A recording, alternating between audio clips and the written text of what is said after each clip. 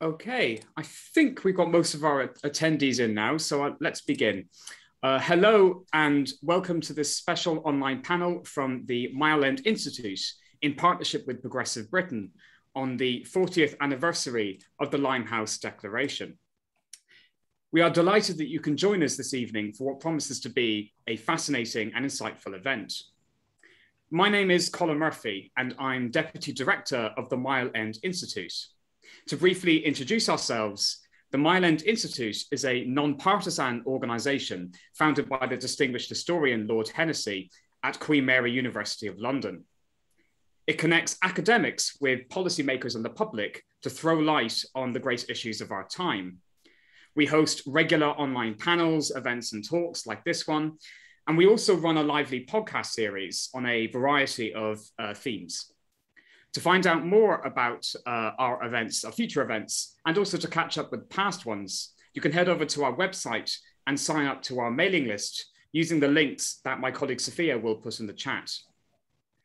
You can also follow us on Twitter, Facebook, Instagram, and equivalent.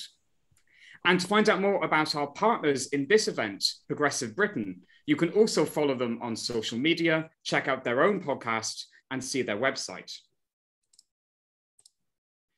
On the 25th of January 1981, four heavyweight politicians and former cabinet ministers, Shirley Williams, Roy Jenkins, David Owen, and Bill Rodgers, lobbed a stick of dynamite into the British party system. As the British left descended into civil war, and during a wider economic and social crisis, the Gang of Four, as they became known, released a statement, the Limehouse Declaration, that indicated their decision to leave the Labour Party and form a new movement for social democracy.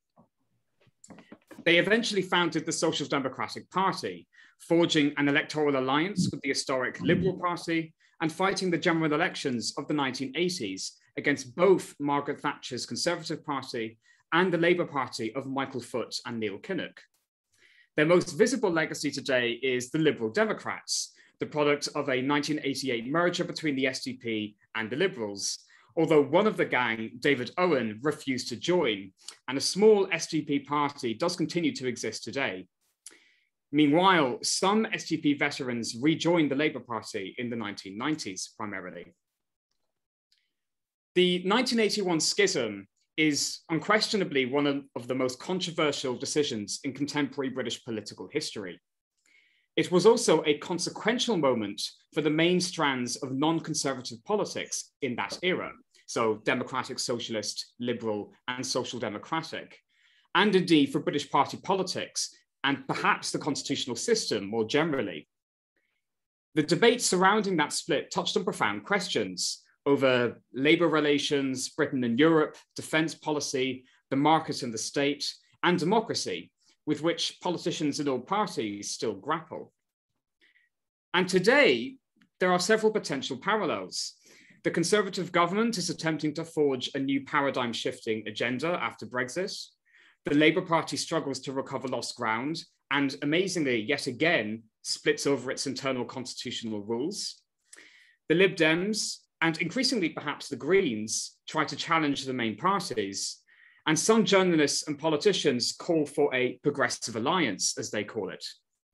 It seems an ideal time, therefore, to revisit the SDP and ask what origins, what its origins and what its fate might tell us about contemporary politics. So, to discuss the Limehouse Declaration, its legacies, and its potential lessons, we're absolutely delighted to be joined by a truly stellar panel. Our first speaker this evening is the Right Honourable Sir Vince Cable, Sir Vince was leader of the Liberal Democrats from 2017 to 2019, member of Parliament for Twickenham from 1997 to 2015 and 2017 to 2019, and Secretary of State for Business, Innovation and Skills during the coalition government. He was, I believe, SDP candidate for York in the 1983 and 1987 general elections. Our next guest is the Right Honourable Charles Clarke, who was Home Secretary for Tony Blair's Labour government from 2004 to 2006 and Member of Parliament for Norwich South from 1997 to 2019. And as Chief of Staff for the Labour leader Neil Kinnock from 1983 to 1992, he had a ringside view of post Limehouse British politics. Our third guest is Polly Toynbee, an author, campaigner, and journalist for The Guardian, among others, with long-standing expertise in British politics, social policy, and social democratic politics. Toynbee was the SDP candidate for Lewisham East in the 1983 general election and subsequently rejoined the Labour Party. Our fourth panelist is Dr. Julie Smith, or Baroness Smith of Newnham, a Liberal Democrat member of the House of Lords and a fellow in politics at Robinson College, Cambridge, where she was director of the European Centre from 2013 to 2019. Now, I read online, so correct me if I'm wrong, but I read online that she first became involved in politics campaigning at the age of 12 for Shirley Williams, one of the Gang of Four. Correct. Yeah, I'm glad that's right. And finally, we are joined by Dr. Peter Sloman, a senior lecturer in politics, also at the University of Cambridge, and a fellow of Churchill College. Peter is an expert historian in modern British politics, public policy, and political ideas, publishing on the Liberal Party and the economy, the Liberal Democrats, and more recently, the history of the universal basic income. Thank you all of us for joining us this evening. Now, in terms of format, each of the panelists will speak for seven minutes in the order I just introduced them. I will then open the discussion up to questions from the floor. Um, panelists, please do try and keep roughly to the seven minutes as we want plenty of time for questions. And we'll finish by 8.30 p.m. In the audience, if you have a question, please do post it in the chat box or using the Q&A function. And you can also tweet any questions and comments using the hashtag MEI-SDP. So if we're all ready, without further ado, let me please hand over to Sir Vince to kick off the panel. Well, first of all, thanks to you for setting up this, uh, you know, very timely event uh, and for asking me to contribute to it. Uh, I should perhaps just say a few personal words about how I got into the SDP, uh, give us a little bit of context. Um, I, I, think I was the, the, the second uh, SDP graduate who sort of led the Lib Dems, uh, Charles Kennedy, in much happier times. Um, and I was also one of the few SDP graduates who sat in the cabinet. But since my colleagues included Chris Grayling and Liz Truss, I think, amongst others, it, it's not something I make much of. Um, my own um, decision to join the, the Lib Dems, uh, the, well, the SDP originally, had very little to do with the Limehouse Declaration, actually. I, I was a reasonably contented member of the Labour Party. I'd probably have stayed there. I'd worked with John Smith in the Labour government as his special advisor um, and very high regard for him and, and people like him. But I made the terrible mistake of going along to meetings of the local Labour Party in Twickenham, uh, which had been taken over by the Trots, uh, and we were passing motions uh, addressed to Mao Zedong and um, President Brezhnev, urging, them to stop a, a, border conflict which was dividing the forces of world socialism and sitting around deciding who would sit on the workers' committee when the revolution took over Twickenham. Uh, and the whole thing was just utterly bizarre. Uh, some of us joined the SDP, the leader of the Labour group joined the Tories, um, and the Trot leader, who was the inspiration behind all this, eventually became a Catholic priest, in which capacity he married my son, and eventually became one of the Lib Dems' uh, best deliverers in, in the borough. So um, the world went in peculiar directions.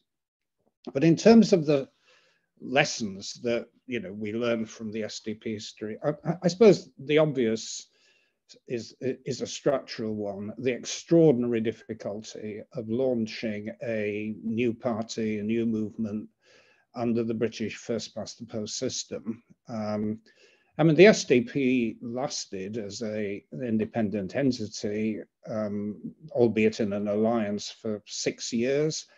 Uh, Change UK more recently lasted six weeks. Um, and, and when we look back at the 1983 elections, um, you know, the numbers actually speak for themselves. And the alliance of 29 SDP, uh, which one was a Tory, the other Labour, and 11 Liberals, that was 40 of them went in and 23 survived. Um, and that was with 25% of the popular vote.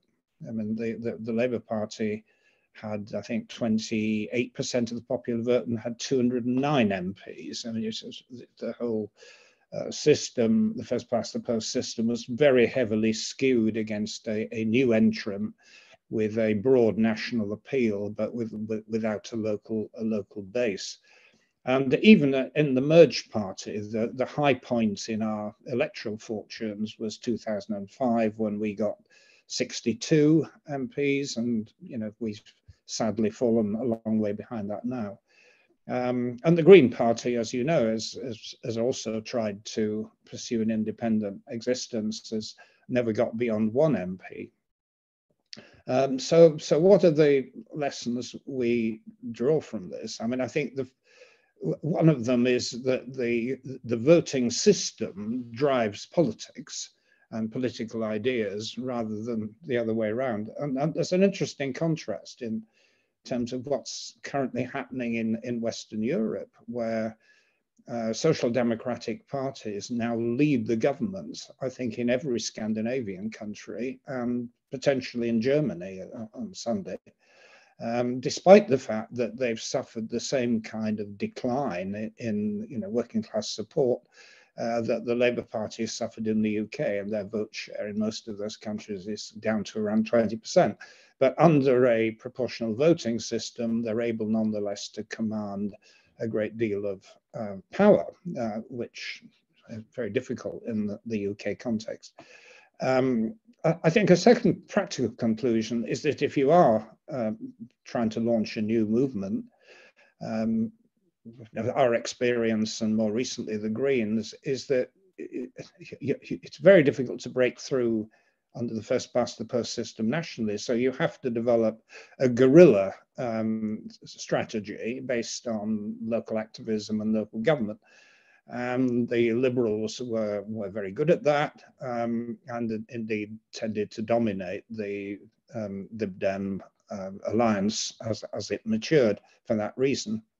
Um, and I suppose the final point I would make, which is sort of forward looking, um, is that it's the only way the Lib Dems, the Greens, any new formation uh, are likely to break through is if we have a change in the electoral system and that there's an inherent problem that turkeys don't vote for Christmas. Why should the parties that benefit from it change the system to their disadvantage?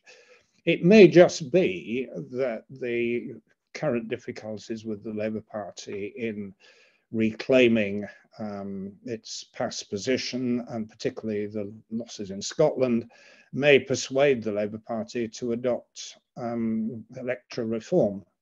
Um, there seems some moves in that direction, and that would be very, very valuable if it happened.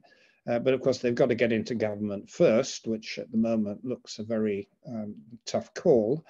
Um, I'm certainly one of those people who believes that we should have a tacit um, alliance understanding with the Labour Party and indeed the Greens and Plaid Cymru, as we had last time um, very difficult to, to make work. It, it sort of happened in 1997, um, but reproducing that under present conditions would be quite difficult. But I'm certainly very much in favor of it.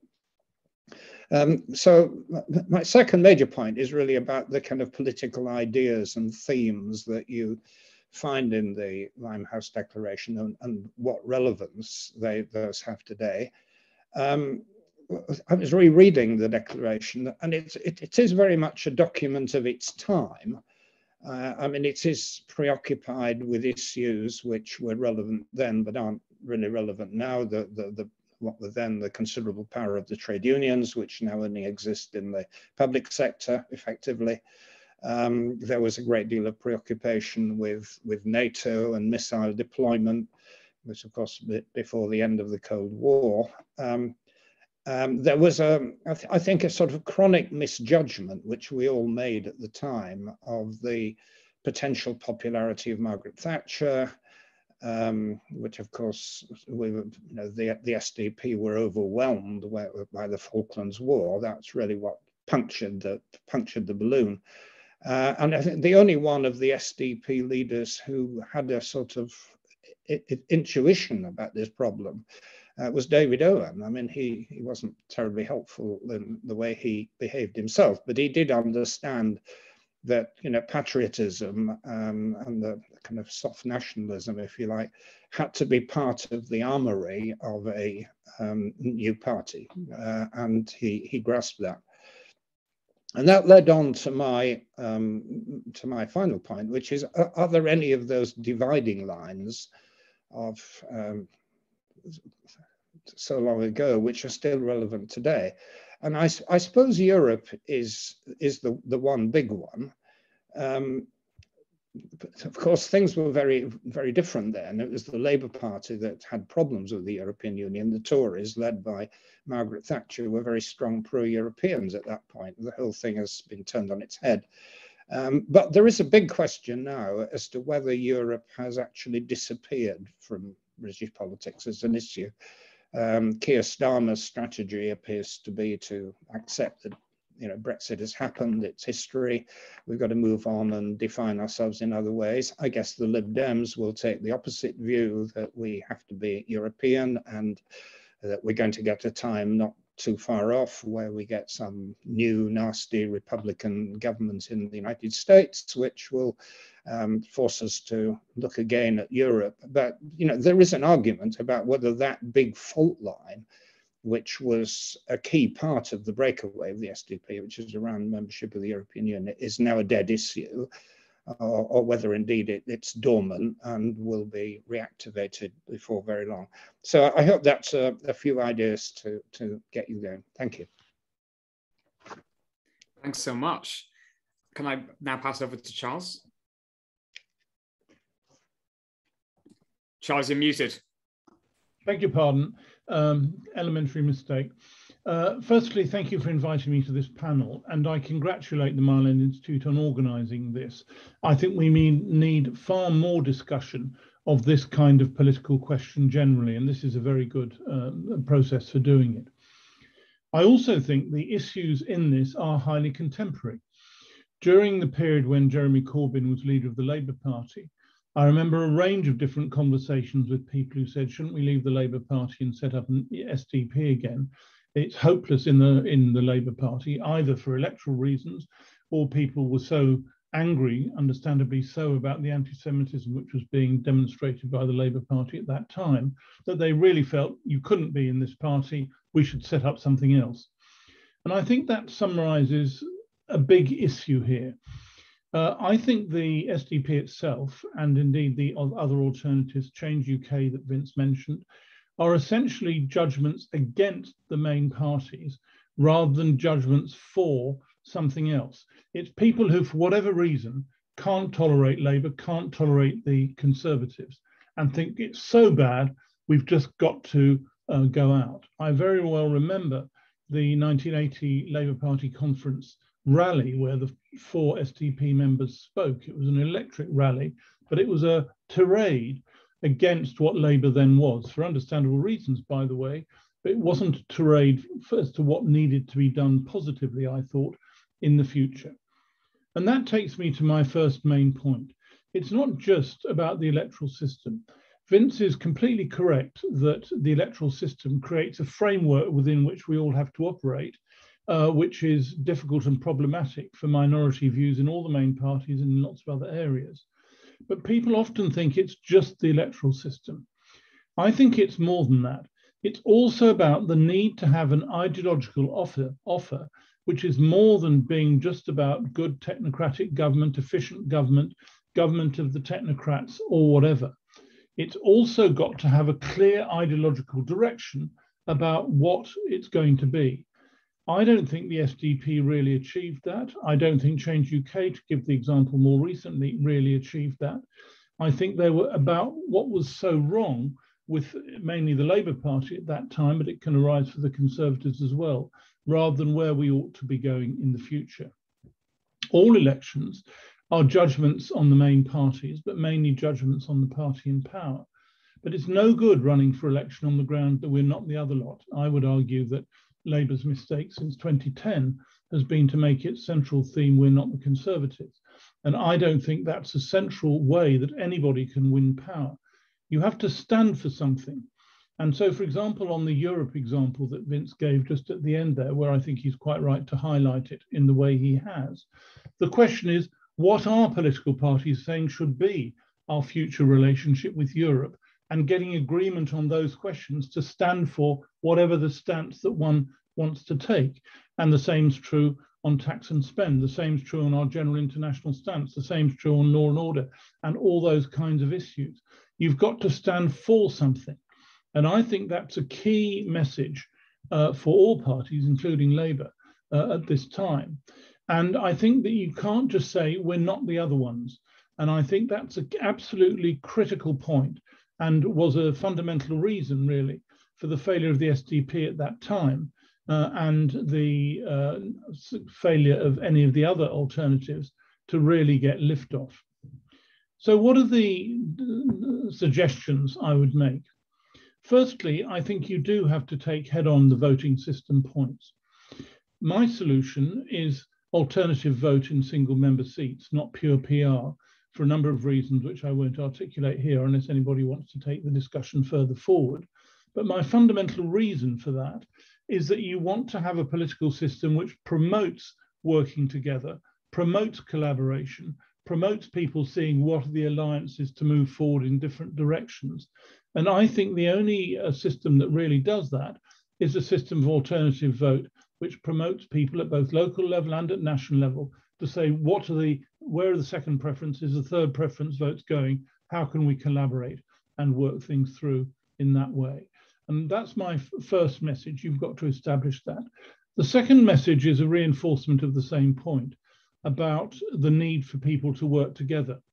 The left, so called, the centre left, so called, has been absolutely beset by a whole series of conflicts, including very personal examples, which make it very difficult to get common approaches, common attitudes. Vince, you mentioned rightly the position of David Owen, a man who had great vision in many ways, but found it impossible, even in the constraints of the SDP, to work with other people in those kinds of ways. And actually, one's got to find a style of politics which is collaborative and working with other people, respecting other, and that needs to be a core part of the way politics moves forward. And the third thing is the point I just made again about the critical importance of standing for something.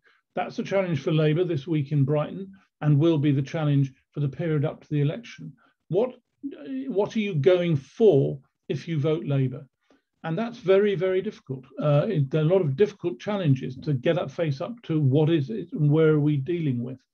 And I think the lesson I draw from the SDP is yes, they were in great difficulty given the electoral system there was, but more than that, they didn't have a clear uh, positive choice that they were offering people. And at the end of the day, that made it very, very difficult for them to break through in that kind of way. And uh, I argued, uh, to go back to where I started, with all the people during the Corbyn leadership of the Labour Party who were saying we've got to get out, set up another party, do run an SDP again. There's no choice but to work within the Labour Party to get it back to a place where it offers coherent alternatives to the country with a coherent le leadership. And within the Conservatives, I'd say the same is true. The Conservatives haven't split over Europe. They haven't split over one nation Tories, and they've had massive divisions, but we haven't seen another party be formed. So you've got to work to change your party to take it in the direction that it needs. Thank you. Thank you very much. I'll now hand over to Polly.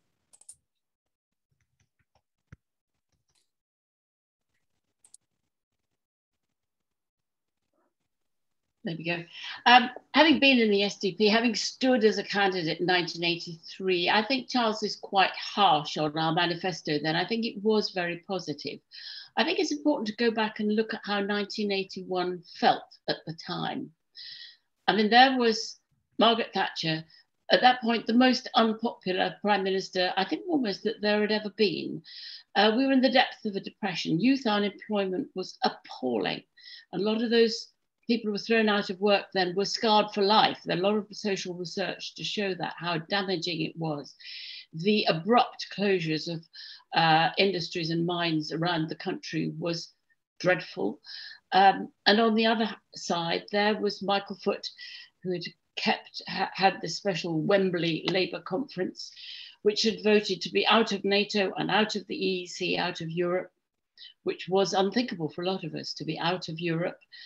Um, and the chasm between those two was so enormous that uh, it's not surprising that the SDP did phenomenally well right up until the Falklands War, or very nearly up until the Falklands War, which was April 82, uh, which turned her fortunes in the most remarkable way. She took fantastic risks uh, with our troops, our fleet, uh, and won. Um, and never looked back after that.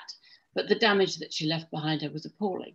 Now, if, like me, you were in the Labour Party, was the Lambeth Labour Party, which was the original Looney Labour Party, though actually Twickenham sounds quite good too, but in Lambeth, they were actually in control of the council and running it into the ground, uh, where meetings went on till three o'clock in the morning until they'd driven everybody else out.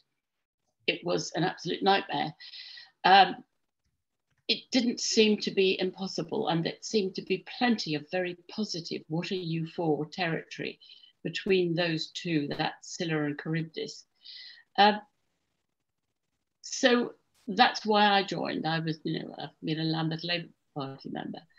Um, personally, the SDP taught me a hell of a lot. My only engagement with active politics uh, as a candidate, um, the pain of schism certainly learnt that in Labour. In the Guardian canteen, people would pick up their plates and move away. If quite a lot of us were SDP candidates, the left and the S versus the SDP was very um, evident there. So it wasn't just in Westminster, it wasn't just in local parties and local politics, but uh, all over the place. That split ran very deep and painful. The other thing I suppose I learnt Charles was suggesting is that how personal politics are, that rivalries between the Gang of Four and the split between Jenkins and Owen that's turned up almost from day one.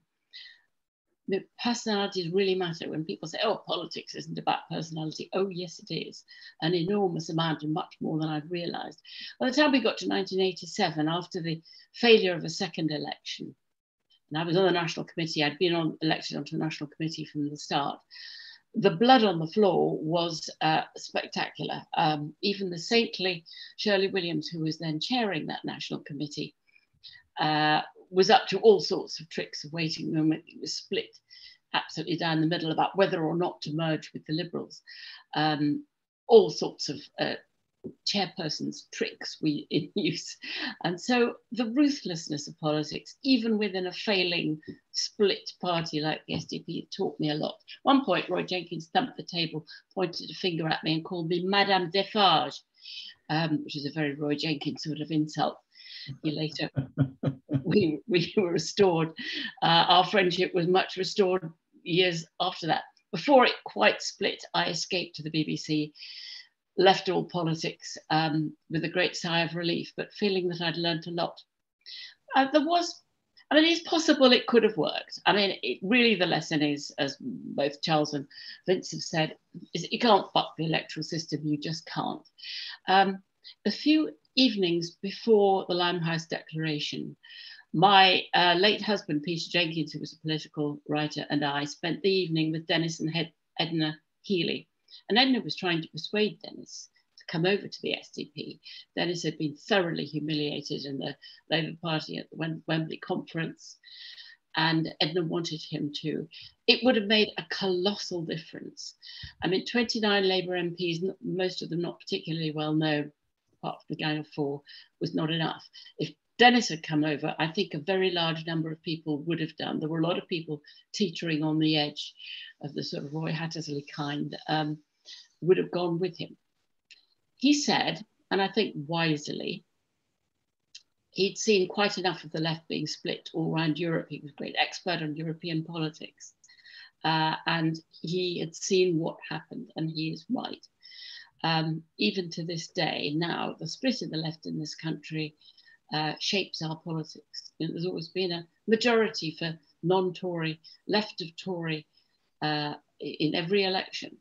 In the last local election in May, for instance, this May, we had enormous local elections because it covered everything. It was sort of two years in one. 85% uh, of the candidate, of, of, in 85% of the seats for the local elections all over the country, there was just one Tory sitting, but there were two or three uh, alternative La Labour, uh, uh, Lib Dem or, or Green candidates. And so, of course, they were not going to do well. Um, it is, seems to me essential that we do have an alliance. We are not going to break this system unless we can have a single election where an alliance on the left holds together and says it's just for one time only, it's just to break the system.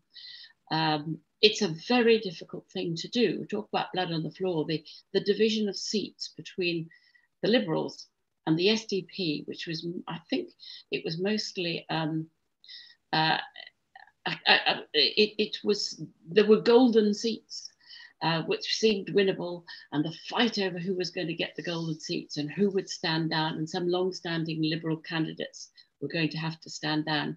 That was more blood on the floor. It was very painful, very difficult. I don't know if it's conceivable that that could be done again I don't think it's probably enough to have candidate, just paper candidates standing.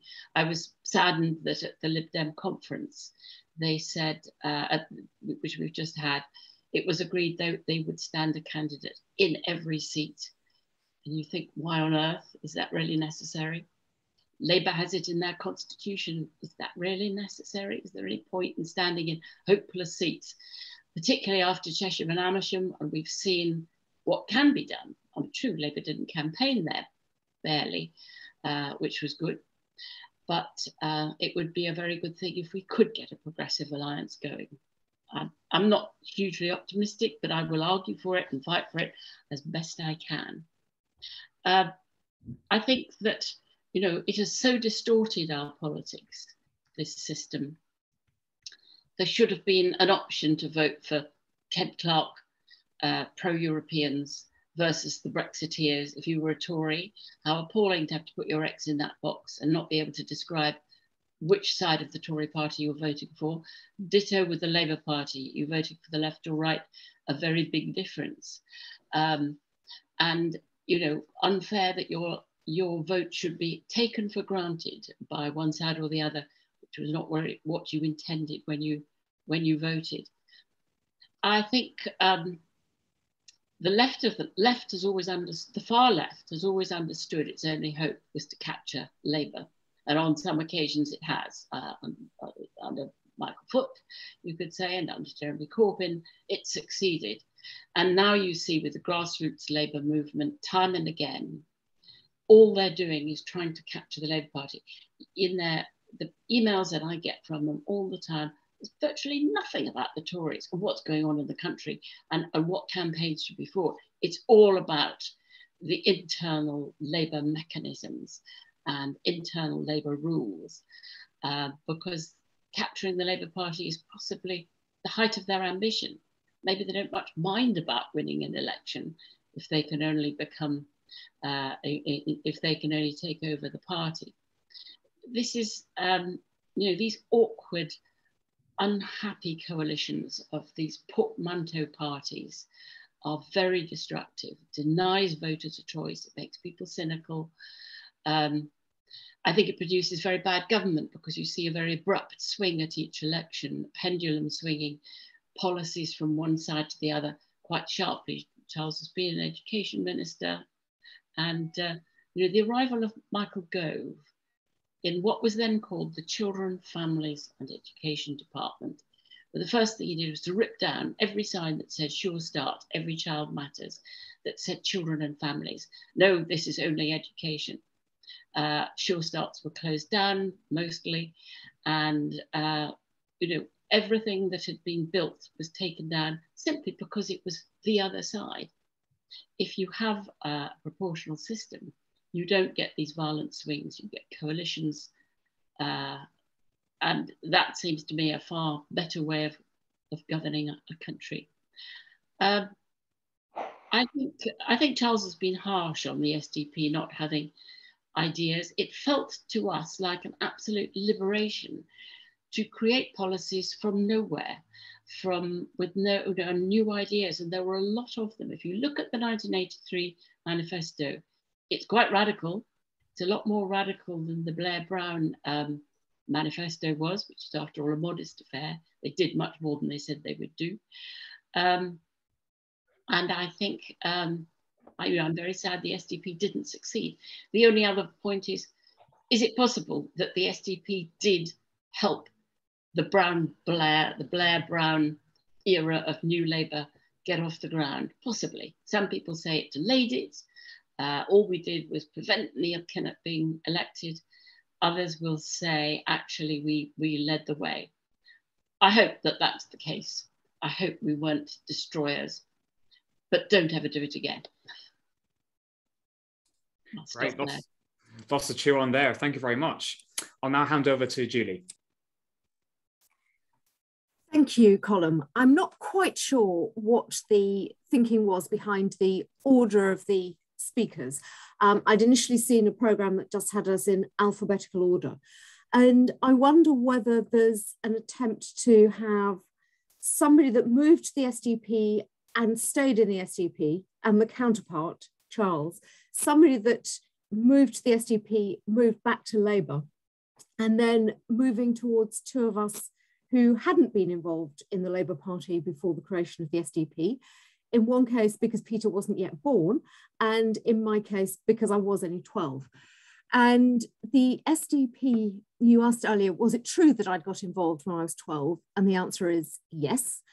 I grew up in a place that now people have tended to forget called Crosby. So when people ask me where I'm from originally, I now say Liverpool.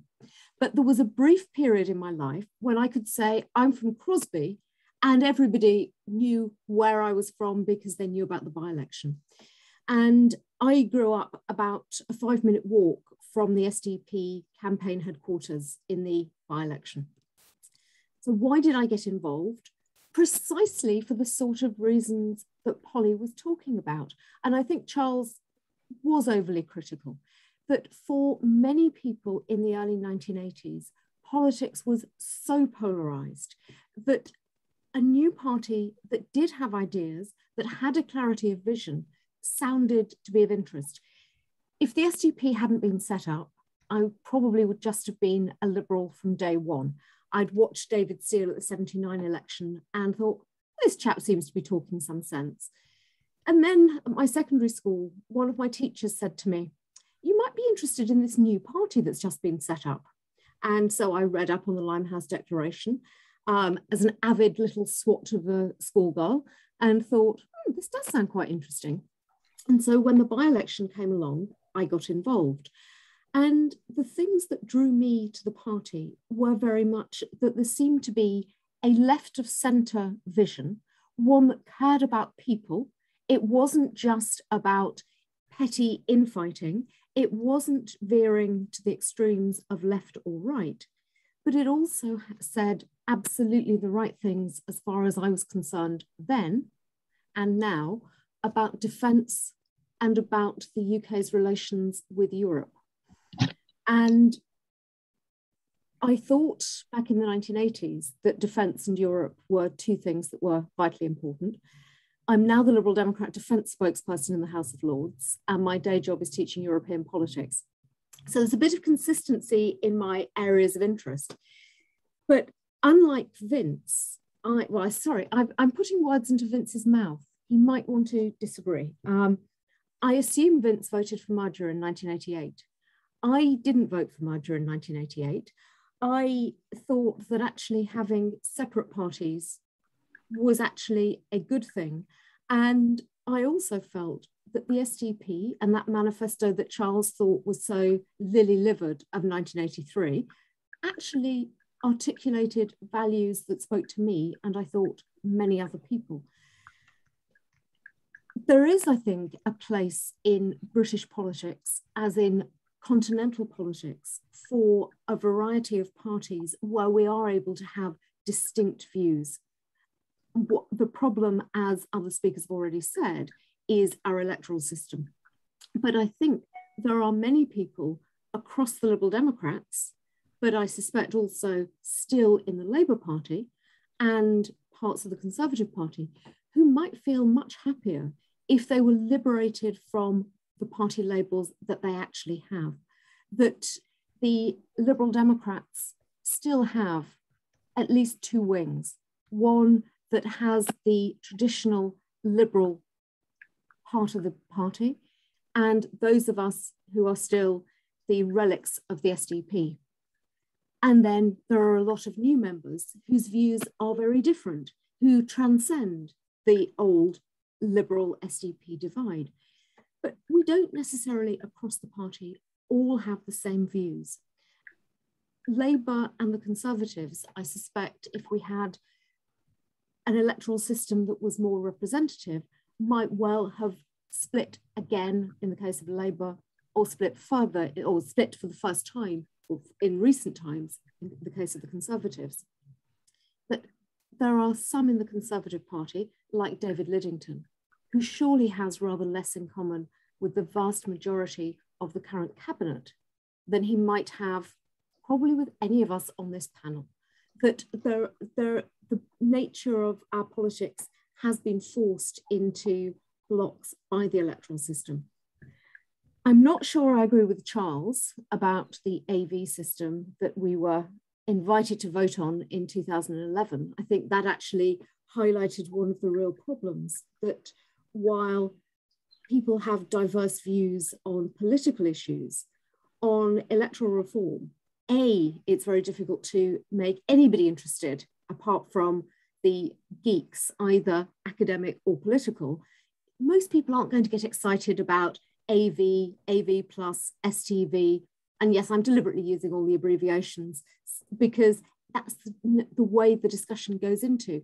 But what we do need is some sort of system that allows us to have a more representative um, parliament.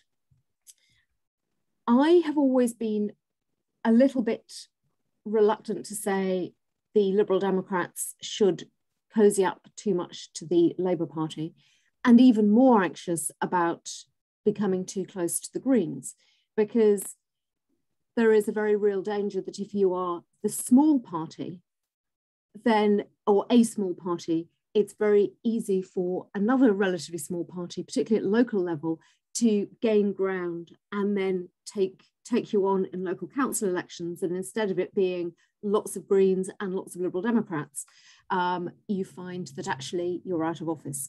So there's always a bit of a danger in cooperation in a first past the post system.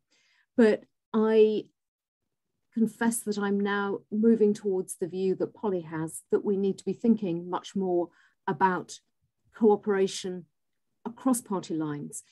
And I think it is fine for people to stand candidates in all constituencies, but we don't necessarily have to campaign actively in all constituencies. So at Batley and Spen, the Liberal Democrats had a candidate, but there wasn't a concerted effort to throw everything into that by-election. We let Labour do that. The reverse with Chesham and Amersham. So I think there are ways in which you can stand a candidate which ensures that at least your party label is represented and you've got the opportunity of reminding people that we exist. And I, you might think that this is just me as a parliamentarian saying that. But some years ago, my late mother got in touch with me and said, I spoilt my ballot paper. Um, she had moved from Crosby, which had, used to have a Tory majority of 20,000, to Bootle constituency, which was rather the reverse for Labour. And the Lib Dems hadn't put up a candidate in the local elections. And so she said, Well, I didn't have the chance to vote for a Liberal Democrat. And so the next election, she stood as a paper candidate. And I think that sort of activity is quite good, that there will be some people who won't vote Labour if they are embedded Liberal Democrats or Greens.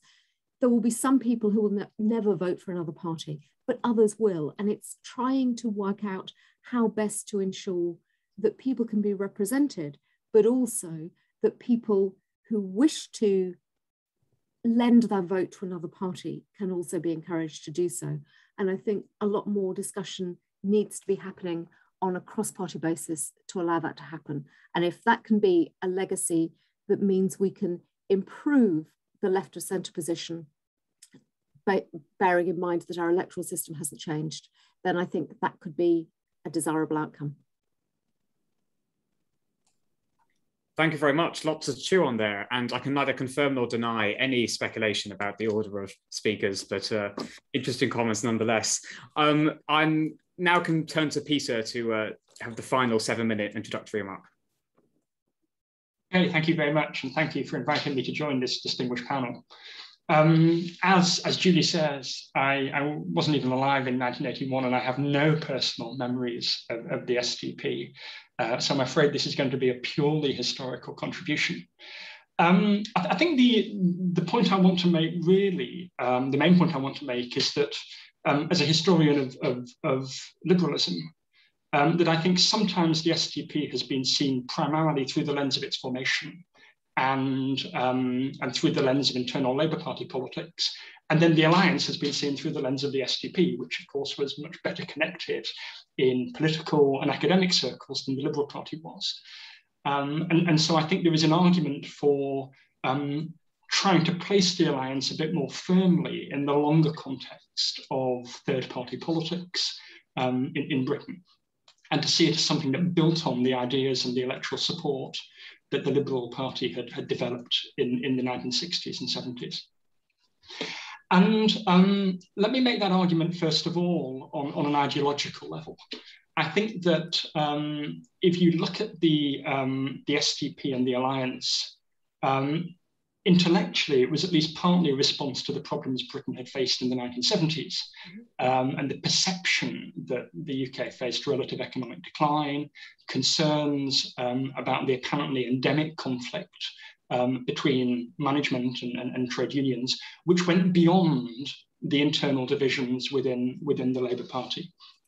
Um, and if you look at Roy Jenkins's Dimbleby lecture, um, which I don't think anyone has mentioned yet, um, mm-hmm. you know, the central thesis is that the causes of Britain's malaise um, were ultimately political ones. Um, that politics had become frozen in a class-based two-party mold, which was making the country impossible to govern.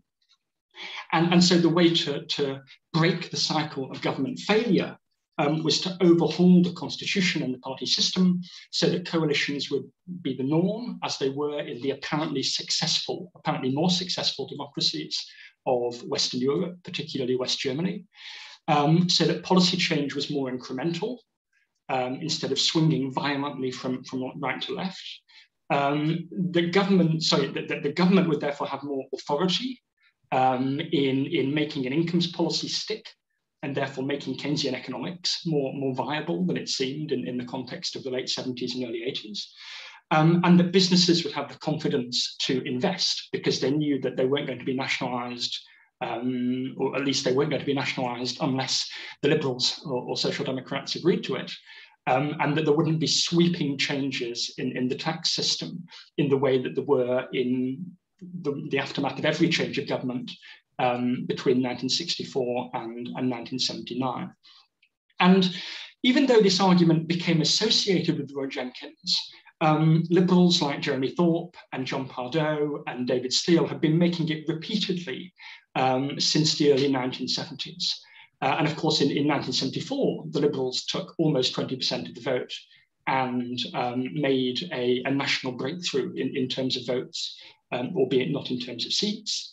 Um, and political scientists like S.E. Finer in Oxford um, were at that point writing quite influential um, attempts to theorize this critique of so-called adversary politics. Now, that liberal diagnosis of Britain's problems in, in the 1970s obviously wasn't without its, its weaknesses. But I think it was the most coherent and forceful attempt which British Liberals have offered, um, really since Labour replaced them as the main party of the left in the 1920s, um, to, give their, um, to give their electoral pitch a sense of, of urgency. Um, because it meant that the case for proportional representation, for instance, wasn't just um, wasn't just a matter of fairness, but it was also a matter of efficiency. Um, the, the Liberals wanted to break the two-party system, not just for its own sake, but because they thought that was a way of making Britain governable again. And I think this is, is one reason why the, the Falklands War um, was so damaging to, to the SDP, as, as several speakers have mentioned. Because before the Falklands, you know, in, the depths of the 1980, 81, 82 recession, Margaret Thatcher's government looked like another failed government driven by ideology, engaged in a monetarist experiment, and becoming deeply unpopular as, as unemployment soared. And, and, and then the Falklands War happened, and all of a sudden, Margaret Thatcher looked like a winner. And it's really interesting that if you look at the SDP's focus group reports, um, which may have come to the committee that, that, that, that was on, I, I, don't know, um, but, but can be found now in the University of Essex archives. Um, you can see that the argument that the alliance was the only way of achieving stability and, and coherence in policy and, and national unity um, basically ceases to resonate in the course of 1983. Um, that once Mrs. Thatcher looks like a winner, um, then she's able to make the argument that the best way to stop the swings of the pendulum between right and left is, is to re-elect the Conservative government and, and let Mrs. Thatcher get, get on with the job. So I think, in other words, the, the, the, the urgency which the alliance is able to instill in its argument in 1981 to 82 ceases to be so, so powerful after the Falklands. Another thing that comes very interestingly out of the same focus group reports is that um, whereas David Steel had believed that Roy Jenkins would be an enormous asset to the SDP and, and, and the alliance, and lots of the polling that had been taken out uh, that had been done during the 1970s had assumed that um, bringing in Labour politicians with ministerial experience and a kind of gravitas would be a real asset to the Liberals in, in kind of making up the Liberals' deficiencies. Um, it, it, it's much less clear that that turned out to be the case in, in practice. Um, the focus group um, report says, quote, that by 1982, Jenkins was seen as a professional politician with all the negatives that entailed, associated with Europe, good living, and, and being old. And, and so, as a kind of more more populist and anti-establishment mood took, took hold during the 1980s, some of those assets which the, the Gang of Four brought with them became less and less, um, less and less helpful. Um, and I think actually that the way the SDP came to dominate the alliance's image in the 1983 campaign and the 1987 campaign may have been counterproductive um, because it crowded out some of the more anti-establishment notes in, in the liberal appeal. And, and, prevented David Steel, who, after all, as, as Julie said, had, had been a very effective campaigner in, in 1979, from fulfilling his, his potential. Um, the final thing I want to say very briefly is that I think in some ways parties might find it harder to, to break the mold, even than the SDP and the Liberals found in, in the 1980s, um, because um, the SDP and the Liberals had two advantages um, that are less apparent today. And the first is that um, mass media was, was dominant and, and television particularly during election campaigns, gave the third party, the Liberals and then the Alliance, uh, almost a guaranteed share of, of coverage um, that tended, um, at least for the Liberals and, and I think probably for the Alliance in 83 as well, to be pretty favourable coverage. Um, so election broadcasts were divided in a 5-5-3 ratio in the 1960s and 70s, in a 5-5-4 ratio in 1983, and in a 5-5-5 ratio um, in, in 1987. In other words, there was parity between the three main contenders.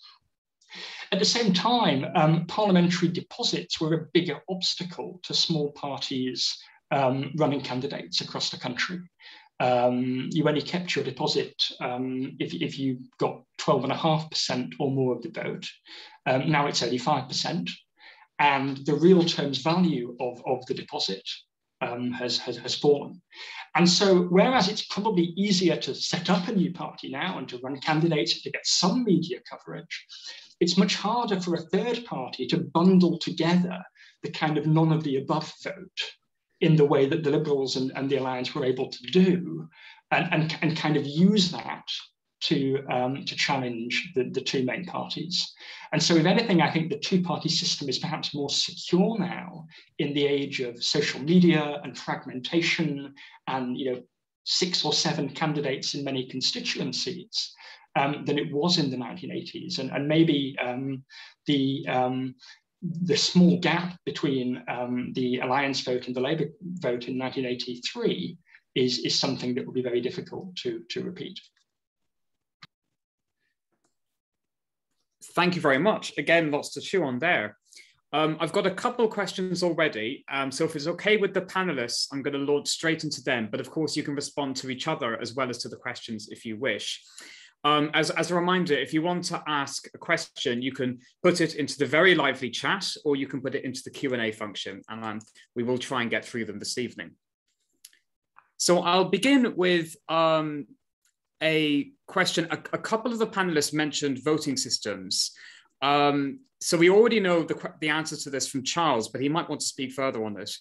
Mark Williams asks, which voting system do candidates prefer? And adds to that, is there any merit to revisiting Roy Jenkins's proposals on electoral reform prepared for Tony Blair in the late 1990s? So perhaps for this one, we'll go back in the order we went. Um, so let's maybe start with um, uh, Vince Cable, if that's okay. Yes, I, I, I, really hope we're not going to reinvent the wheel in, in this debate about proportional voting and representative uh, parliament. Um, and Tony Blair commissioned uh, Roy Jenkins to produce a report. It was one of the best things he did, I think, um, and came up with a kind of hybrid compromise solution, which drew on approximately to the system they have in Germany, but with modifications, and to uh, which has some echoes in, in the Scottish um, parliamentary voting. It has essentially a constituency-based system, but where you make up for um, lack of proportion through a, uh, an additional set of members. And you can argue about the details, but it seemed to me to meet the requirements that most people are likely to have. But I, I really hope as a country and in terms of the various parties supporting um, voting reform that we're not going to reopen all the Pandora's box about wouldn't it be wonderful to have um, an Irish STV system or, or, something fundamentally different? And we, we, we exhaustively went through the op options with Jenkins, who did a very good job of narrowing them down, and I think we should work with his conclusions. Thank you. Charles, do you have anything to add to what you said in your contribution? Yes. Firstly, there are two different questions. One, how do you promote what Polly rightly called for, working together between parties? And second, what is the right electoral system? They're related but different questions. On the working together point, uh, I just want to remind you of the agreement in 1903 between Herbert Gladstone, then the chief whip of the Liberal Party, and Ramsay MacDonald, the secretary of the Labour Representation Committee, that in 30 constituencies they named, the Labour Party and the Liberal Party would not stand against each other and thus would avoid the risk of splitting their vote. As a result of that agreement, in the 1906 general election, in contests against the Conservative Party, 29 Labour MPs were returned. It's, I think, the only example of a pre election pact. All the other pacts are a result dealing with the actual fact of the vote and people having to work together, whether you're talking about David Steel or, or whatever. Now, it's very interesting that that happened. Um, Ramsay MacDonald, an absolute tribune of the left at that time, uh, not with his subsequent reputation following him being prime minister.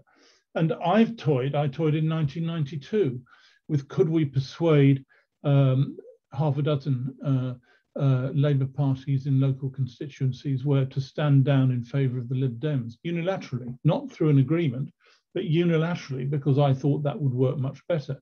I even did the figures, I looked them up in 2019. If that were to happen, there are about 20 seats where the uh, uh, majority of the Conservatives over the Lib Dems was massively less than the Labour vote. And actually, that would have changed the whole process. obviously nothing happened in those areas.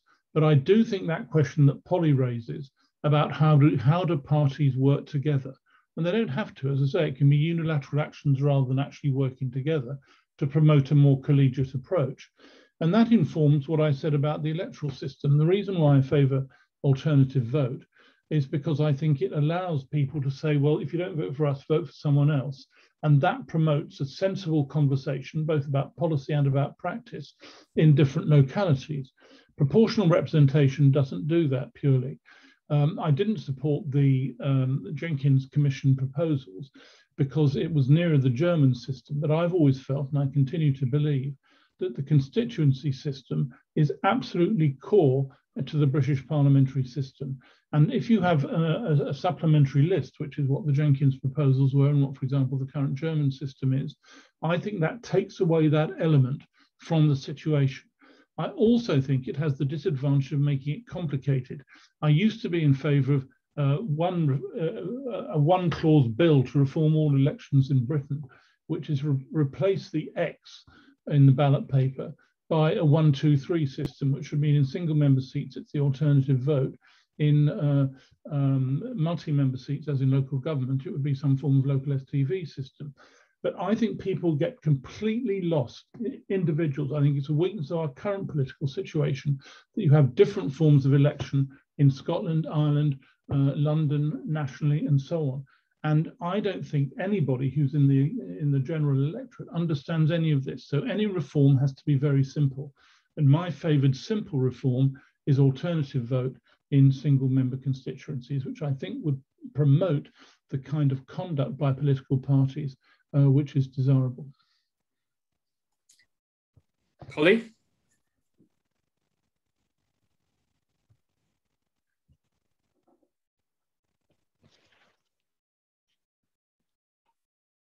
I'm sighing to myself sadly, saying, oh dear, here we go, down that rabbit hole. I mean, the reason that the House of Lords has never been reformed uh, since it was first tried in what, 1911, uh, was is that uh, everybody then falls out over what they want to replace it with. And you get unholy alliances between Enoch Powell and I can't remember who it was, Enoch Powell and Michael Foot or whatever. Um, all wanting different things, and as a result, it never gets reformed at all. The trouble with Charles's thing about AV, anything called AV, it's quite difficult to put forward again because it was lost in a referendum. It was a scandalous and disgraceful referendum that should have warned everybody hmm. about what would happen in the Brexit referendum because disgraceful lies were told about what it was and what it meant and what it would do and not do. Uh, Dominic Cummings and Matthew Elliott cut their teeth on uh, how to spread total dishonesty as uh, in that AV referendum. It was also revenge against David Steel. It was thought to be for him. David Steel was insane to have agreed to a referendum unless he got the Tories to sign in blood to back it all, all the way. So that was a disaster. But I think it'd be difficult to have another one on AV. But I agree with Vince that I thought the Roy Jenkins system worked very well. Uh, I don't think there's anything wrong with the supplementary list because you still people still have a constituency MP. The fact there's a supplementary list on the side just prevents the gross distortions that we get now in this system. And I thought it was quite a good blend.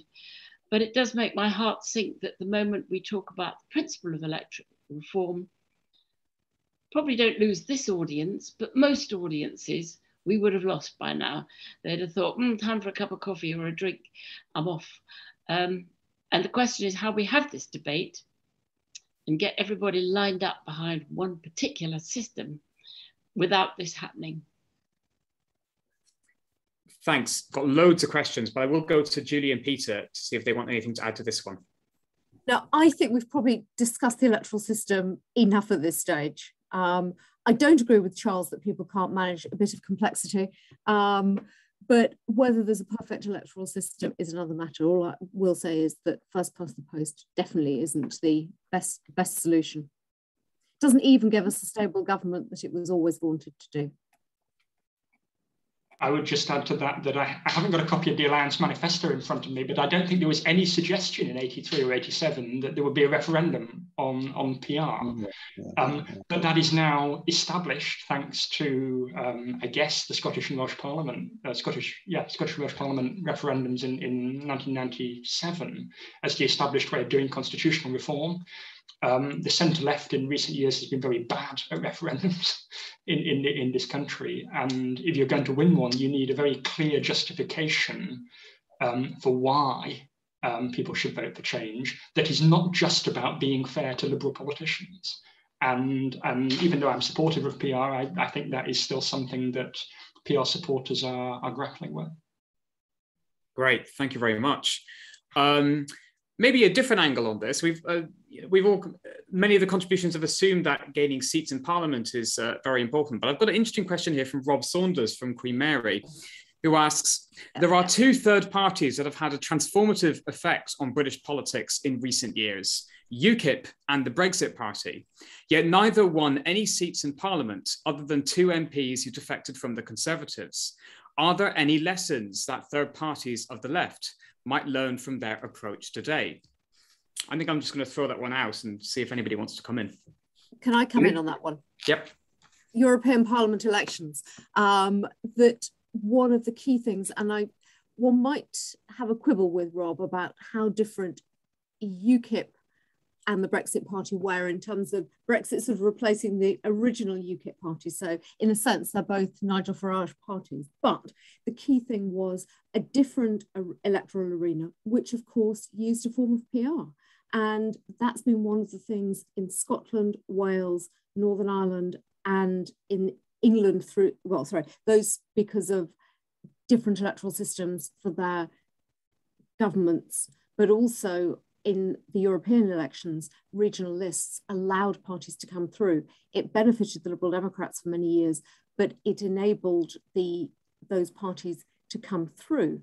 And so it's a combination of a different electoral arena and a different electoral system that has made a difference. But Rob's right, you can make a real difference without actually having a seat in Westminster.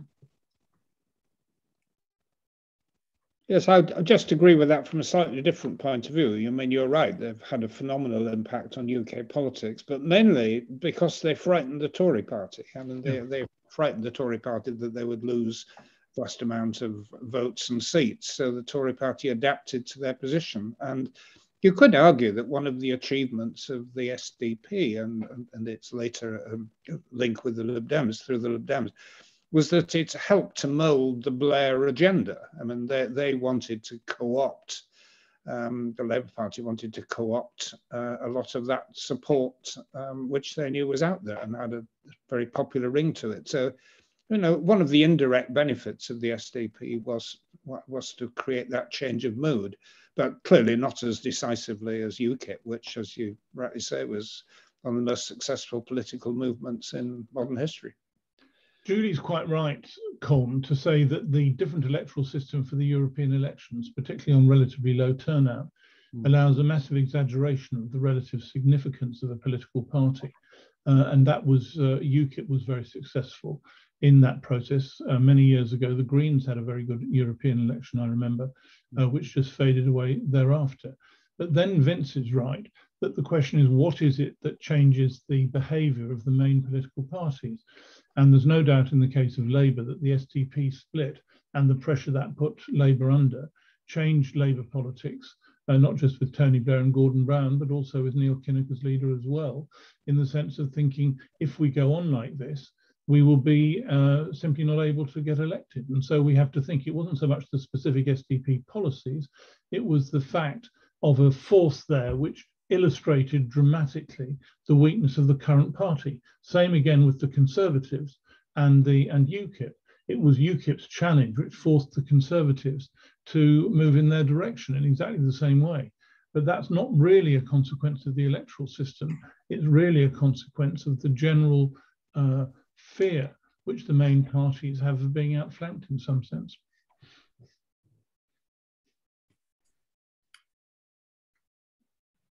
Right, it seems like everybody's wanted to respond to that question has.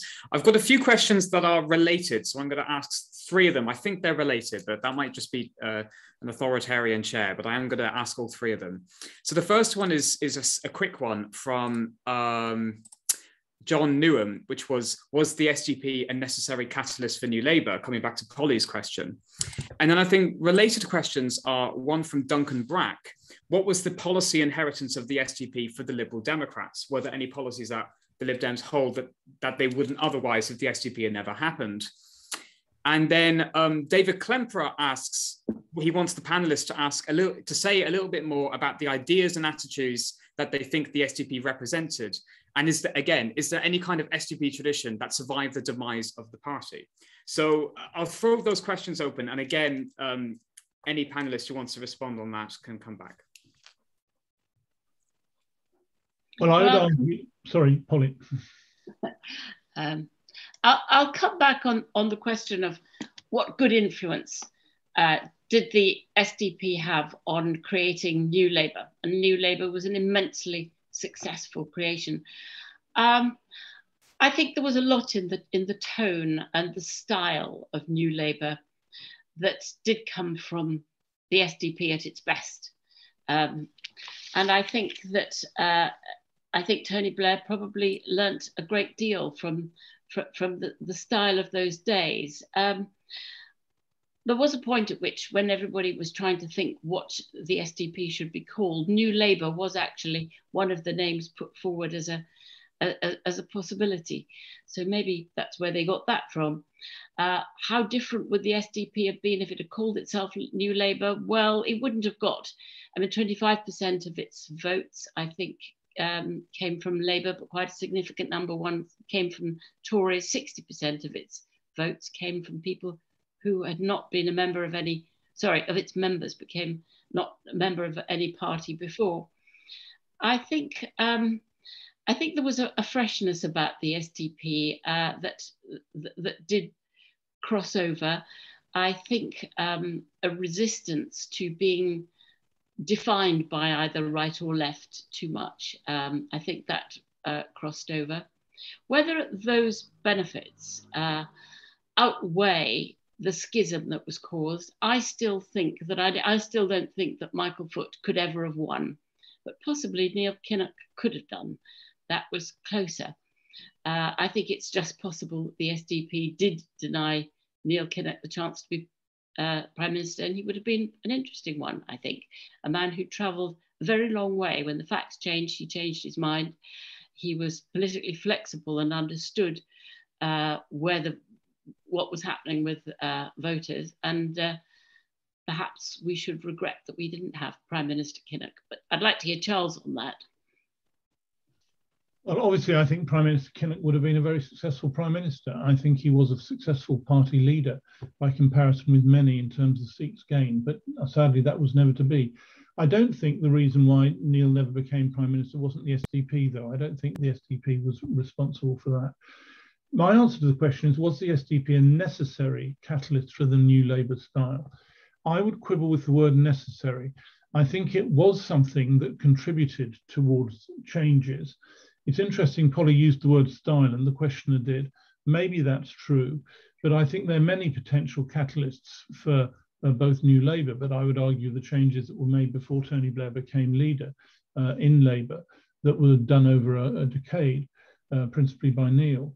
Uh, but I don't think that um, uh, you needed to have a division in the Labour Party to achieve the new situation that, that we got. And I think the schism in, overall brought more damage than, um, than benefits. Obviously, three of you were SDP members and actively involved in SDP at the beginning, and therefore could see the positives in the SDP, and you've described them very well this evening in a, a way that I find difficult to identify with in that way. I wasn't saying actually that the SDP policies didn't have content, uh, or, or was I saying they were lily livered? I was simply saying that the greater motivation for people to vote for the SDP and, maybe for some people to join was opposition to the main parties rather than the actual policy portfolio that was put out either in the Limehouse Declaration or subsequently. Um, And I certainly think it's true that because there are many what I'd call common sense policies in the SDP manifesto and so on, uh, many of those policies were adopted by uh, Labour, adjusting not, not just after Tony Blair's leadership, but also uh, in the 1992 general election and through our policy review process. And that was fine because there were pl plenty of perfectly sensible things put forward by the SDP. But my argument was it wasn't those things which were the core reason why people uh, joined the SDP or moved on. It was the opposition to the way in which particularly Labour, but both the main parties were conducting themselves. Just to address the question, I think it was Duncan asked about what, what, were the SDP policies that were carried through into the um, Lib Dems and made a difference. I don't think it was the specifics. I think it was the insistence on having a, a national framework, a basic framework. I mean, the Liberals were absolutely brilliant at local uh, campaigning, and that's how they'd survived and built up their strength. Um, but like that kind of instinct to, to that you need a, an overall manifesto and an overall framework of thought. Um, I, I, benefited enormously. I'd never have become an MP had it not been for the local community campaigning that the Liberals brought. For example, you know, collecting newspapers in the first um, bout of recycling we had in this country. That came from the Liberals, not from the Greens originally. Uh, but it, it was the putting of those two things together which was the you know the SDP national policy framework and the and the liberal community campaigning that made the, made for a successful fusion. I wonder if you had any quick thoughts on this, Peter, as the uh, the historian among us. Yeah, I mean, I was, I was going to say that if you want one example of SDP policy that I think does carry through, then nobody um, in the Labour Party has really acknowledged this. It's it's anti-poverty policy um, that one of the big flagship proposals the SDP had in, in 83 and 87 was Dick Taverne's plan for tax and benefit credits worked up very closely with the IFS, which was all about targeted in-work support um, in order to tackle child poverty. And, you know, in effect, um, you know, even though that wasn't front and center of the 97 Labour manifesto, it is in effect what Gordon Brown did through, through the tax credit system, um, tackling poverty, yeah, okay, partly through the minimum wage, um, but mainly through, through fiscal redistribution um, to, to those in need, in a way that the Labour Party traditionally has always been very cautious about. I honestly think that's very steep. I think it's to describe the Labour Party as not committed to anti-poverty policies I think just stands absolutely in the teeth of history over uh, decades.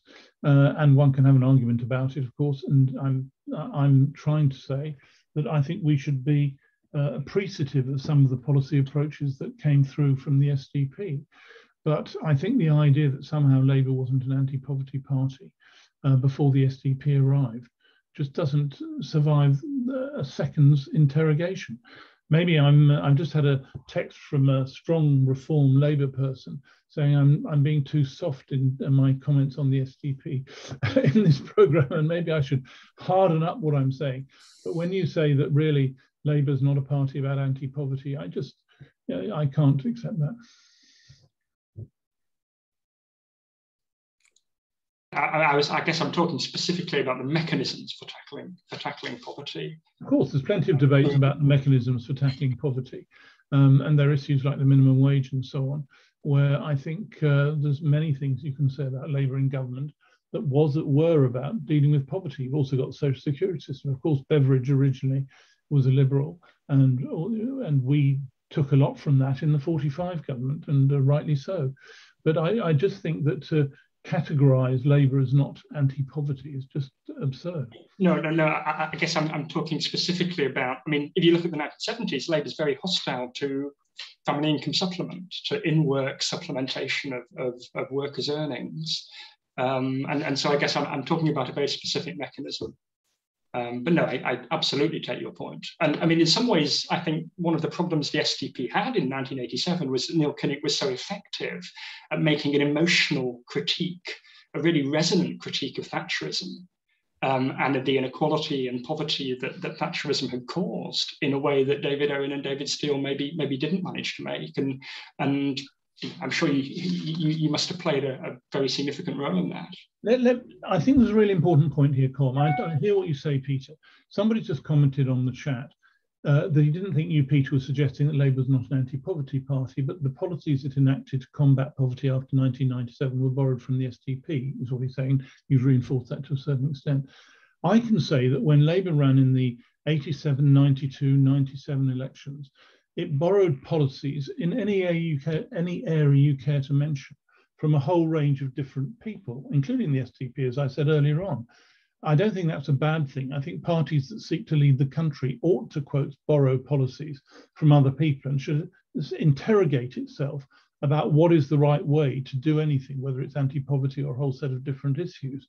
Um, and I think the sectarianism of those on the ultra left who say only our way of doing it is the right way to go is um, is is wrong and uh, counterproductive. You can say the same about nationalisation, for example. If you're trying to get uh, a more effective economy in energy in energy, for example, what's the right way to go about it? And the party that wants to lead the country ought to be uh, pay, taking in thoughts, inputs, reflections from a whole series of different ways. And so I suppose I, and what I'm reacting against is the suggestion that somehow the SDP came along and said, here's this list of policies. And Labour said, blimey, that's the good set of ideas. I haven't thought about that before. Let's put them in our agenda. I don't think that happened at all. The change in Labour was to move away from its own sectarianism, that everything that happened in 1945 was the right way to do things, to a more broad approach to finding what was the right way to do things and to carry that forward not always rightly, mistakes were made, and so on and so forth. But that's the approach which I commend, is trying to have a more fruitful policy debate and choose the right policy instruments to try and achieve the changes you need to make without being stuck in sectarianisms of various descriptions. If it's okay, I, I mean, that was a fascinating discussion, but I do have plenty of questions, so I'm going to move it on. Is that okay with the panel? Yeah. Great, awesome. Um, right, so I have a couple of questions on um, the Progressive Alliance, which was again a, a theme of the, the uh, contributions from the panelists. So there's firstly one from Sam Palace, which is how could Labour ever go into an alliance slash coalition with the Liberal Democrat Party that were um, that were in the coalition government? So in his words, um, apologists and facilitators of Tory austerity. But um, I, you know, I think you, you, can get the argument. And then um, there's a, a, different angle on the Progressive Alliance from an anonymous contributor, which is assuming that you favor a Progressive Alliance, formal or informal, what would be the first three practical steps which you would suggest to, to make it happen? Um, you know, and, and the, the, I think the questioner is saying, if, if you do agree with it, how would you go about doing it? Um, again, I'll throw that open to the panel. Um, I'd certainly happily answer about um, and I'd like to like to hear from Vince too. I I do agree that uh, I'm still, when I stop and think about it, deeply shocked at what the Liberal Democrats agreed to in the uh, years of those five years of, of, austerity. I mean, that first budget of George Osborne's was a horror, and it did incredible amount of damage. I, I've written a book called The Lost Decade. It's all in there, chapter and verse and um, the damage was immense. And I don't feel that the Liberal Democrats should have signed up to that kind of alliance. I think they should have been free to, uh, they should have put their foot down. They should have been free not to vote for things of that kind. And if it had called another election, so be it. I think they did sign their name in blood to some pretty unconscionable things. But that's all in the past. That's not where we would be with the Progressive Alliance. Uh, I think Liberal Democrats have learnt some bitter lessons. I think that anyway, you're not talking about a joint government except after PR. You're talking about a system for getting electoral reform that would then allow a shake-up of the entire political system. We'd see where it would fall out what parties would split, what we would end up with. We would end up with a coalition where we will all have to learn to work together, not necessarily in exactly that kind of the same kind of way that um, the Liberal Democrats did work together with the Tories. We would have to be used to working together. That's true, but I do think that you would find it would be impossible for um, a, a, Conservative Party that didn't have a majority to push through such extreme policies after uh, a PR system was in place. They would have to work much more closely with several other parties, and they wouldn't ever be dominant in that way on the number of votes that they got as a minority. Uh, well, just to answer the specific thing thrown at me, uh, uh I mean, we inherited something called the Darling Plan from the Labour government, uh, which was a necessary set of measures designed to reduce the very large fiscal deficit. And in Alistair Darling's case, it was over seven years. And the coalition inherited that, and actually, um, that's what we finished up doing. I mean, the, the, aim was to speed it up a bit, but it was basically the same structure. I inherited a very large government department, um, which had penciled in by the outgoing Labour government cuts of 25%. And that's what we finished up doing, no more, no less. Um, so there was a, actually a lot of continuity between what the coalition did and what Labour would have done had they finished up back in government. Uh, there would have been a different balance of uh, some things would, you know, I would have hoped that, that a more um, left-wing leaning government would not have cut local government to the same extent, but the cuts would have come from somewhere else. Um, our government was probably too soft on the defence budget. I mean, you can argue about the balance. Um, and there probably should have been more tax, uh, less emphasis on public spending. But the basic structure, austerity, was baked into the outgoing uh, Labour government Darling plan. So, I mean, all this uh, attempt to imply that we embarked on a fundamentally different direction is absolutely absurd.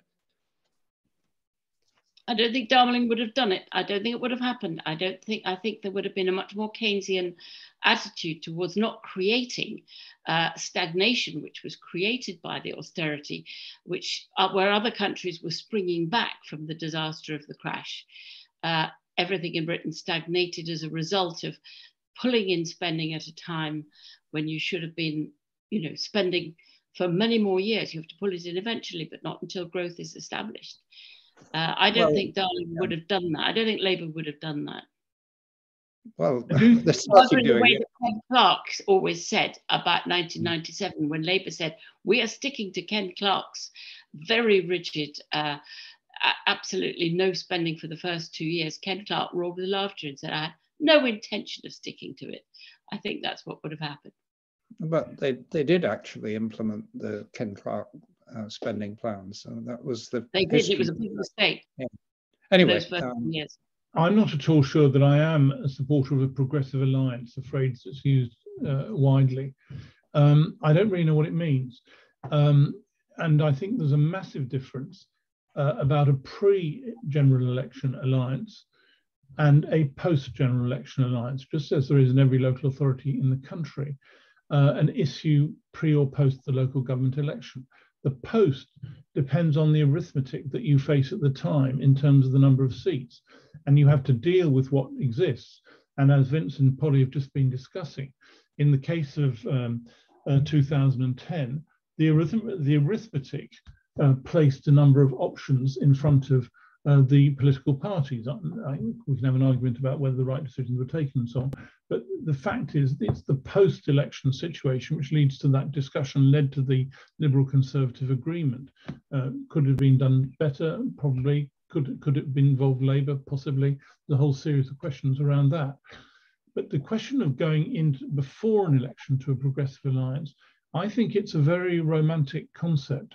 I don't think it's at all clear that there is the level of agreement between Labour, Lib Dems, Greens, anybody else, to get that kind of uh, progressive alliance before a general election. Um, I think the question is much more tactical, even to ally on measures of electoral reform.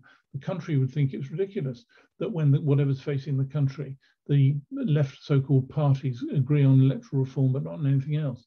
It doesn't stack up. I think it's much more, and I, am sorry to go back to Polly, but she right at the beginning rightly said, you've got to develop a, cli a climate in which there can be genuine dialogue between the parties about where you go. There was an effort to do that when Labour was in government. That we had so-called secret meetings with the Liberal Democrats in County Hall uh, in about 2001, 2002. But big elements of the Labour Party, notably the Deputy Prime Minister, were totally opposed to that kind of conversation, even. You've got to get to a state of affairs where you can have a conversation about what these things be. Without the conversation, there is no possibility of working together, let alone a progressive alliance of some kind which can present itself as such in an election.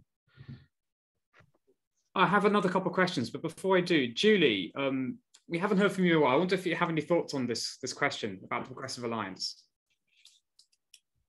I have a similar view to Charles in terms of what does a progressive alliance mean and is this really what we would be aiming to do?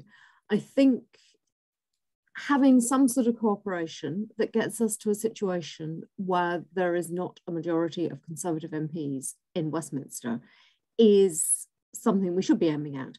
And following on from various points about, well, would you trust the Liberal Democrats? And the same question might be asked about other parties. I think there is a real difference between saying we're going to work together to try to get the Tories out compared with an electoral a, a coalition that is put together post-election. And so I think there are areas where we have common cause, which is to have a left of centre government. And I'm sure Sam will come back and say, huh, well, she would say that, and the Liberal Democrats aren't left of centre. Well, under Charles Kennedy, we were very clearly left of centre. And I think and uh, some sort of cooperation that led to either a confidence and supply situation or even another form of coalition would actually be very different because the one lesson that the Liberal Democrats have learned from the bitter experience of 2010 is that, frankly, if you go into a coalition with the Conservatives, you end up with an electoral disaster afterwards, and we're still paying the price. Thank you very much. Thank you all. Really fascinating discussion. Um, I have two more questions that are, that are related. Um, and again, I'm just going to throw these open. So the first is from Angus Riley, and I, I know Angus is going to be particularly interested uh, in David Owen because he's, I, I, believe, a biographer of David Owen. But he's asked, how do you reflect on the social market economy propagated by Owen? And was it as right-wing as characterized? But I think he's asking the panel to reflect on David Owen's distinctive intellectual contribution as well as his personal uh, contributions to the politics, which was discussed. And then uh, we have a question from Jeremy Nuttall, um, which argues that the alliance offered a vision of social welfareism with aspiration, as did New Labour, which returns to that discussion between Peter and Charles. Um, does progressivism today need a new version of this old intellectual synthesis?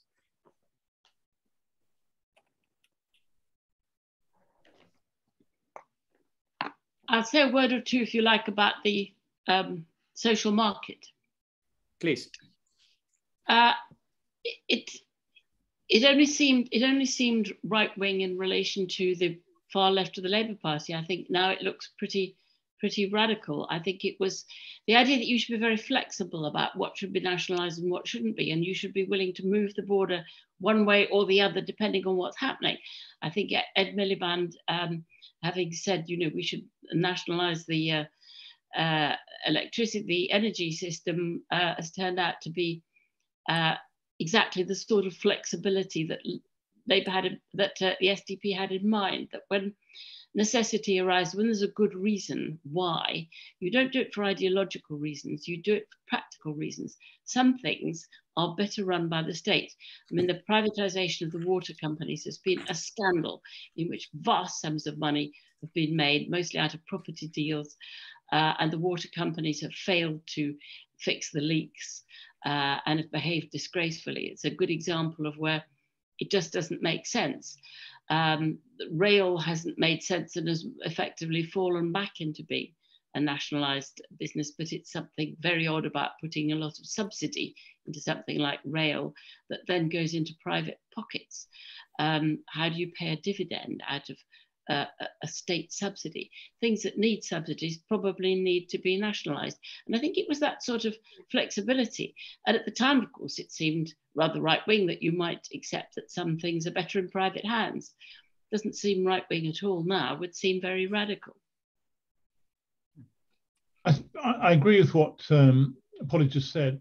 And my problem is I'm not sure that phrases like social welfareism or the social market economy um, give enough clarity as to what you're talking about. They're almost slogans that were used in political debates in the past rather than um, helpful signposting to what the actual policies would be in particular circumstances as of today. So, um, and I, I, suppose one would also say that right and left, right wing, left wing are phrases which aren't particularly helpful in these discussions. Uh, what is right a right wing policy? What is a left wing policy? Is it about the market? Is it about the role of the state? What's the situation? I think one needs a much fuller discussion and apply it to particular areas. Uh, you can look at what's happened to gas companies today and say, is are the measures that were pursued were they wise in terms of um, efficiency or equity, in terms of providing uh, the gas supply? And, and, that's the question that should be asked. And then say, well, what are the policy measures you move on from that? And I'd find that a better way of addressing it than using phrases like uh, social welfareism and the social market economy.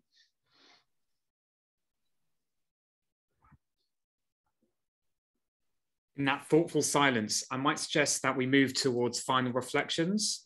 So if this is okay with the panel, unless anybody else has a specific uh, response to the question I just asked, I might go in reverse order. So I might start with Peter, if that's okay with you, to have any final reflections on, on the discussion and any lessons you've learned about the SDP after our conversation. And then we'll go back towards Vince. Yeah, thank you, thank you, Colm. I think it's been fascinating to hear from you know um, Charles and Polly and, and, and, Vince and Julie about their different experiences of, of, of, politics in, in, the 1980s, and and clearly you know the SDP is always going to be a party.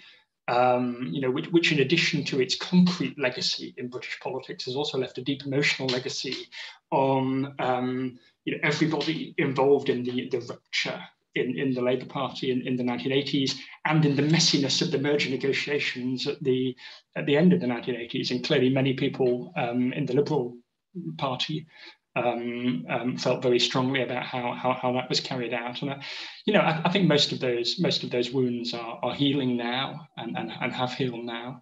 Um, I um, yeah, I, I, am not. Um, I, think we have shared um, light both on the advantages of, of, you know progressive cooperation, but also on the difficulties of, of a progressive alliance today.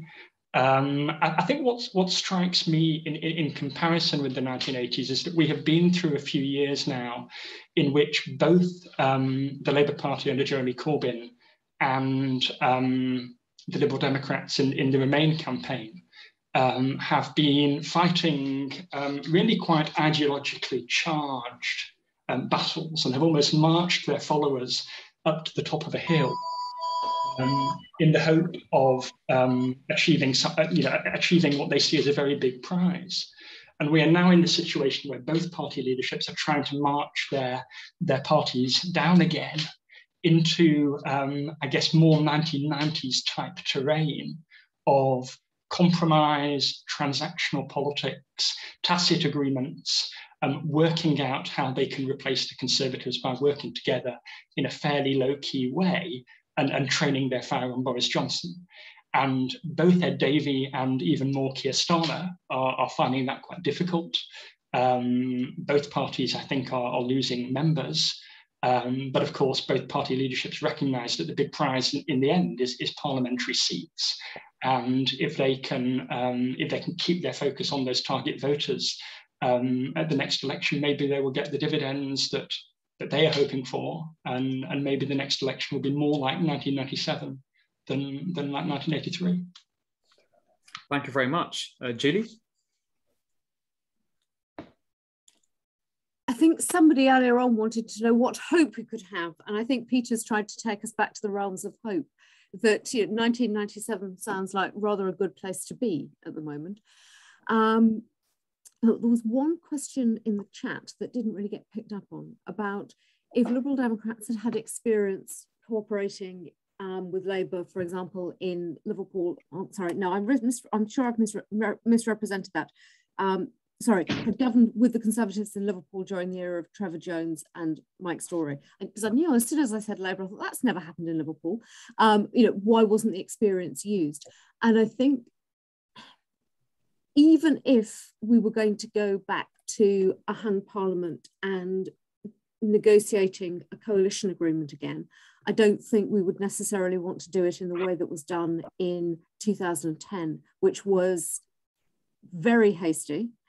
If you look in other at other countries, Angela Merkel might still be here on the 1st of January to do a New Year's Day speech um, as Chancellor of Germany if it takes them several months to form a new coalition.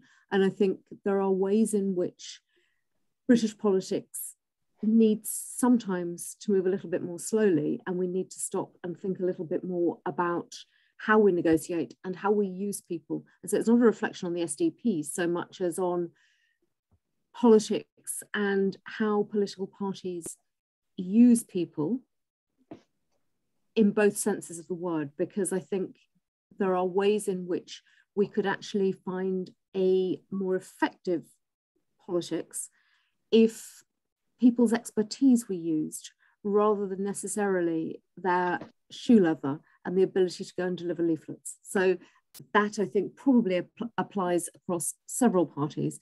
Um, and I think ways of actually thinking about the members and how members play into political parties is actually quite important. Polly, concluding thoughts? I think I suppose I have to end with a, a note of optimism.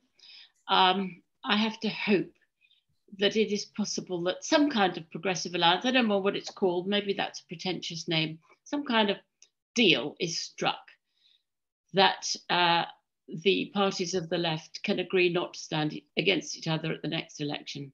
I don't think, I mean, Charles seems to assume that there would have to be a whole lot of policy agreements. There does have to be not disagreements on really fundamental things. The one thing they will all agree on is quite how extreme this government has been. Look where we have been taken by Boris Johnson. Look at how we've been taken out of Europe and taken out of Europe on the basis of lies and untruths, all of which are coming home to roost. It's all being proved. Know, Project Fear is where we're living right now. Uh, and the extremism of what we face and taking seriously uh, what the austerity uh, already has, that's already happened, but also the spending review is going to be very brutal. Education is still not, uh, schools are still not funded as well as they were in 2010, which is appallingly depressing. I think if we put together the reasons why much more unites us than divides us uh, of those who are not conservatives. And maybe some who are conservatives would consider uh, amongst voters uh, coming back again uh, when they see the reality, the, the, dif the difference between the sloganeering, the sound bites, the promises, and the reality behind it. You know, the nonsense that, oh, Boris is sort of moving to the left, only stealing some of the language. Alas, none of the content. I wish he were uh, I think there is real hope there that we could get uh, enough of an alliance going where people won't be standing against each other idiotically in seats where one party or the other has no hope.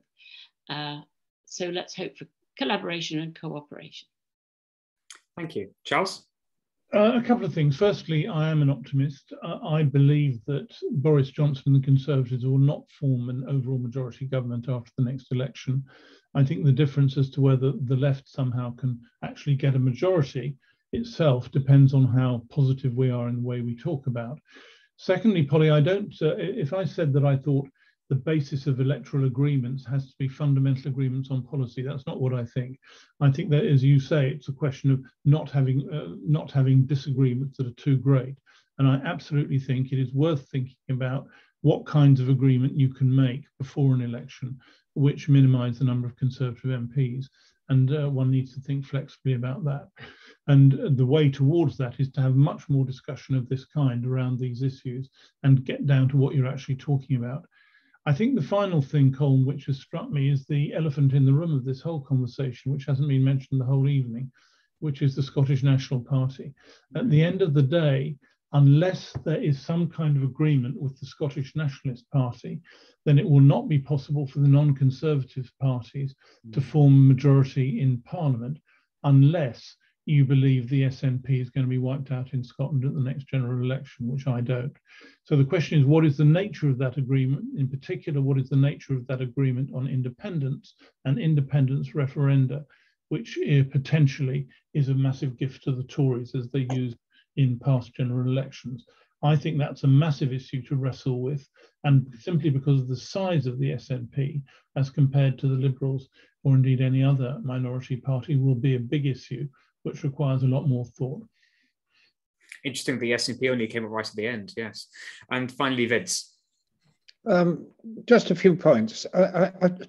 Charles made some very good points earlier on, which I, I wanted to take up and respond to. I mean, the first is how important it is to have a kind of ideological driver between in a new party or indeed any party.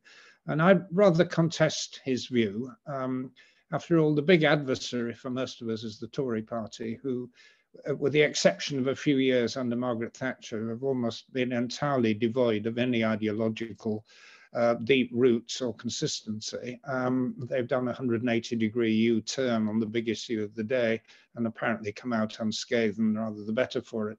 Um, the, best hope for kind of centre left politics in the world is in the United States, and its president got elected on the basis that he wasn't the other one. And the big issue at the next election and the election after will be having an alternative to the Tories, and we're not get too hung up on visions and, and policy platforms. Uh, I think a second point he made, which is also very important, is the distinction between working together and voting systems, which may or may not help you to work together. I mean, I was part of a coalition where parties worked together very well, but it was a very unbalanced coalition because instead of our parties being represented in a ratio of roughly one and a half to one, which was based on our electoral support, uh, we were outnumbered by six or seven to one in terms of ministers and MPs. And of course, you got an overwhelmingly Tory um, texture, um, to, particularly towards the end of, of, of, the administration, because of arithmetic. Um, and until you get the, the, the, voting system sorted and more representative voting, you're never going to get coalitions, uh, which work together in, in, in a way that reflects public preferences. And then my final thought is um, I, am not worried about the language and progressive coalitions or whatever. I mean, I will be supporting the the Dem candidates in the 25 or 30 seats, which we have a realistic chance of winning, and in giving encouragement to good Labour candidates in Tory Labour marginals. And I'm not worried about what label you want to put on it. Thank you very much. And with that, I think we'll draw this fascinating discussion to a close. Uh, thank you so much to all of our panelists for giving us their time and insights this evening, and to Progressive Britain for partnering with us for this event, and to all of you for coming and asking such uh, probing and interesting questions. If you enjoyed tonight's event, do come along to future Mile End Institute panels and as a reminder, you can keep up to date by signing up to our mailing list on our website and by following us on Twitter, Facebook, and Instagram. A recording of this event will also be available on our YouTube channel in the morning. In the meantime, have a good evening and see you next time. Bye.